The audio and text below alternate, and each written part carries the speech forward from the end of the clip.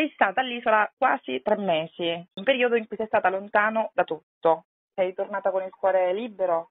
In realtà io sono partita che il mio cuore era libero, era solo un po' rotto. Comunque sia, si ripara col tempo, non, non mi devo forzare io. Ti dico che non ho pensato a molte cose mentre ero lì perché eh, dovevi sopravvivere. Quando sono partita il mio obiettivo era quello di lasciare tutto in Italia e invece poi dopo un po' ti accorgi che ti sei portata tutto il carico, te lo sei portato dietro.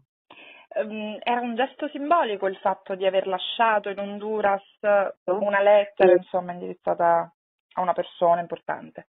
Quella lettera era indirizzata a me stessa in realtà, al coraggio e alla forza che ho avuto eh, perché sono resa conto che io non avevo intenzione di vincere mh, perché la mia vittoria era quella di aver deciso di partecipare, perché sapevo che se fossi rimasta a casa ehm, mi sarei ammalata, non, non sarebbe andata così.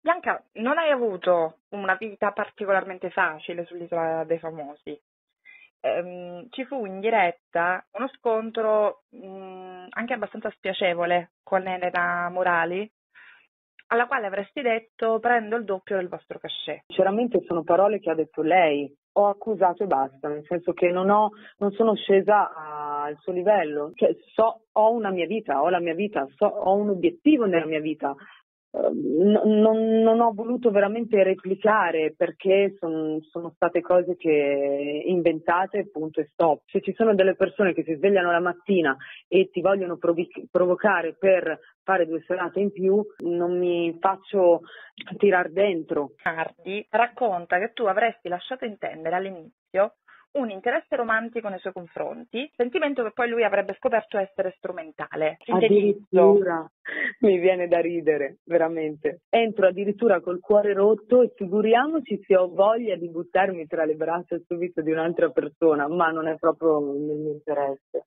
Probabilmente se hai fatto solo due o tre settimane rosichi. La verità è quella. La verità è solo quella. C'è una tecolezza molto scomoda che ti riguarda. Eva Enger e eh, Cecilia Capriotti hanno dichiarato che ci avresti provato con Nino Formicola e che lui è stato costretto a ricordarti la presenza della sua compagna a casa. Mi fa sorridere molto questa cosa. Cioè, se si arriva a dire queste cose, beh, per me la cosa più importante è il parere del pubblico, non dei naufraghi. Se ci sono persone che si svegliano la mattina e non hanno un obiettivo, non è colpa mia. Ti abbiamo visto anche fare il bagno nuda.